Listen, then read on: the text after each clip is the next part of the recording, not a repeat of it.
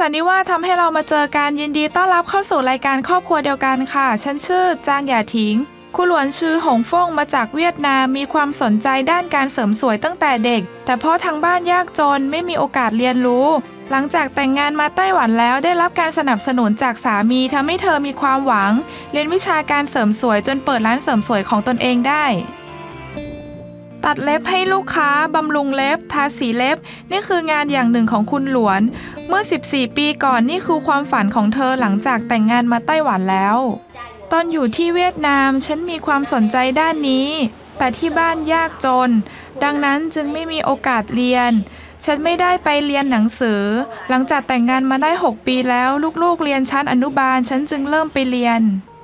สามีทำงานเป็นช่างน้ำช่างไฟ ฐานะทางบ้านไม่ร่ำรวย แต่คุณหลวนก็ไม่ยอมทิ้งความฝันของตนเอง เธอขยันเรียนภาษาจีน เพิ่มเติมความรู้ 7 ปีก่อนหลังจากลูกเรียนชั้นประถม สามีให้การสนับสนุน เธอจึงไปเป็นลูกมือเรียนทำผมที่ร้านเสริมสวย และไปเรียนทำเล็บที่ไทเปทุกอาทิตย์ ฉันเริ่มเรียนทำผมและทำจนถึงทุกวันนี้ ฉันเปิดร้านทุกวัน เดือนหนึ่งพักแค่4วัน